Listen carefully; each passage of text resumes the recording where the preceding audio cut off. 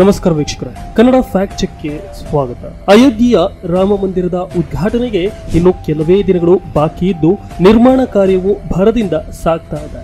ಆದರೆ ರಾಮ ಮಂದಿರಕ್ಕೆ ಸಂಬಂಧಿಸಿದಂತೆ ಕೋಮು ಸೌಹಾರ್ದತೆ ಕದಡುವಂತಹ ಹಲವಾರು ಸುಳ್ಳು ಸುದ್ದಿಗಳು, ಸುಳ್ಳು ಪ್ರತಿಪಾದನೆಗಳು ಸಾಮಾಜಿಕ ಜಾಲತಾಣದಲ್ಲಿ ವ್ಯಾಪಕವಾಗಿ ಹರಿದಾಡ್ತಾ ಇದೆ.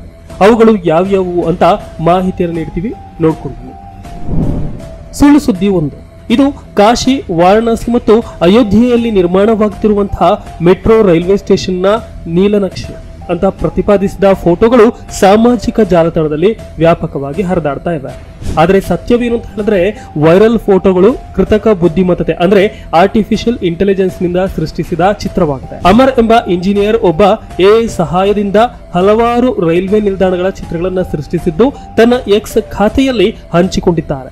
ಈತ ಅಯೋಧ್ಯೆಯ ರೈಲ್ವೆ ನಿಲ್ದಾಣದ ಚಿತ್ರವನ್ನು ಸಹ ಎಐನಿಂದ ಸೃಷ್ಟಿಸಿದ್ದು ಸದ್ಯ ಭಾರತದಾದ್ಯಂತ ಹರಿದಾಡ್ತಾ ಇದೆ.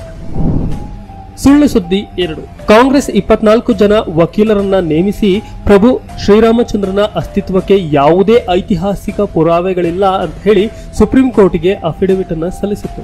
ಈ ಕುರಿತು ಫ್ಯಾಕ್ಟ್ ಚೆಕ್ ನಡೆಸಿದಾಗ, ಅಯೋಧ್ಯೆಯ ಬಾಬ್ರಿ ಮಸೀದಿ ಕೆಡವಿದ ಜಾಗ ನಮಗೆ ಸೇರಬೇಕು ಅಂತ ನಿರ್ಮೋಹಿ ಅಖಾಡ ಸುನ್ನಿ ವಕ್ ಕೋಡ್ ಮತ್ತು ರಾಮಲಲ್ಲಾ ವಾರಸುದಾರರು ಸುಪ್ರೀಂ ಕೋರ್ಟ್ನಲ್ಲಿ ಅರ್ಜಿ ಸಲ್ಲಿಸುತ್ತೆ ವಿನಃ ಕಾಂಗ್ರೆಸ್ ಅಥವಾ ಸೋನಿಯಾ ಗಾಂಧಿ ಅಲ್ಲ. ಇನ್ನು ಕಾಂಗ್ರೆಸ್ ರಾಮ ಮಂದಿರದ ವಿರುದ್ಧ ವಾದ ಮಾಡಲು ಇಪ್ಪತ್ನಾಲ್ಕು ಜನ ವಕೀಲರನ್ನ ನೇಮಿಸಿತ್ತು ಎಂಬುದಕ್ಕೆ ಯಾವುದೇ ಆಧಾರಗಳಿಲ್ಲ. ಕಾಂಗ್ರೆಸ್ ಕಾರ್ಯಕರ್ತರು ಓಟು ಕೇಳಲು ಬಂದಾಗ ರಾಮ ಮಂದಿರದ ವಿರುದ್ಧ ಇಪ್ಪತ್ನಾಲ್ಕು ವಕೀಲರನ್ನ ನೇಮಿಸಿದ್ದು ಏಕೆ ಎಂದು ಪ್ರಶ್ನಿಸಿ ಎಂದು ನಾನಾ ಪಾಟೇಕರ್ ಹೇಳಿದ್ದಾರೆ ಎಂಬ ಸುಳ್ಳನ್ನ ಹರಿಬಿಡಲಾಗಿತ್ತು. ಬಿಜೆಪಿ ಕಾರ್ಯಕರ್ತನೊಬ್ಬ ಕಾಂಗ್ರೆಸ್ ರಾಮಮಂದಿರದ ವಿರುದ್ಧ ವಾದ ಮಾಡಲು ಇಪ್ಪತ್ನಾಲ್ಕು ವಕೀಲರನ್ನ ನೇಮಿಸಿತ್ತು ಎಂಬ ಕಲ್ಪಿತ ಸುಳ್ಳು ಹೇಳಿರುವ ವಿಡಿಯೋ ಫೇಸ್ಬುಕ್, ಯೂಟ್ಯೂಬ್ನಲ್ಲಿ ಹಲವು ವರ್ಷಗಳಿಂದ ಹರಿದಾಡ್ತಾ ಇದೆ. ಅದನ್ನೇ ಮುನ್ನೆಲೆಯಾಗಿಟ್ಟುಕೊಂಡು ಹಲವಾರು ಸುಳ್ಳು ಆರೋಪಗಳನ್ನ ಮಾಡಲಾಗ್ತಾ ಇದೆ. ಸುಳ್ಳು ಆರೋಪಗಳು ಹುಟ್ಟಿಕೊಂಡಿವೆ ಸುಳ್ಳು ಸುದ್ದಿ ಮೂರು. ಅಯೋಧ್ಯೆ ರಾಮಮಂದಿರ ಅರ್ಚಕರಾಗಿ ನೇಮಕಗೊಂಡಿರುವ ಮೋಹಿತ್ ಪಾಂಡೆ ಕುರಿತು ವಿಡಿಯೋ, ಫೋಟೋವನ್ನು ಹರಿಬಿಡಲಾಗಿದೆ.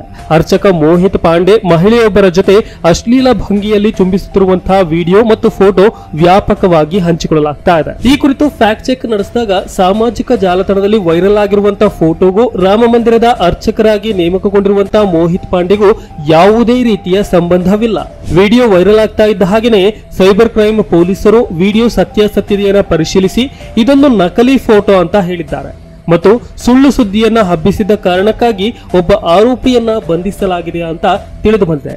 ಕನ್ನಡ ಫ್ಯಾಕ್ಟ್ ಚೆಕ್ ಸುಳ್ಳು ಸುದ್ದಿಗಳನ್ನ ಬಯಲುಗೊಳಿಸುವ ಪ್ರಯತ್ನವಾಗಿದೆ. ಯಾವುದೇ ಸಂದೇಶದ ಬಗ್ಗೆ ಸಂದೇಹ ಬಂದರೆ ನಮಗೆ ಕಳುಹಿಸಿ. ಫ್ಯಾಕ್ಟ್ ಚೆಕ್ ಪ್ರಕಟಿಸುತ್ತೇವೆ. ನಮ್ಮ ವಿಡಿಯೋ ಪೋಸ್ಟರ್ಗಳನ್ನ ಶೇರ್ ಮಾಡುವ ಮೂಲಕ ಬೆಂಬಲಿಸಿ.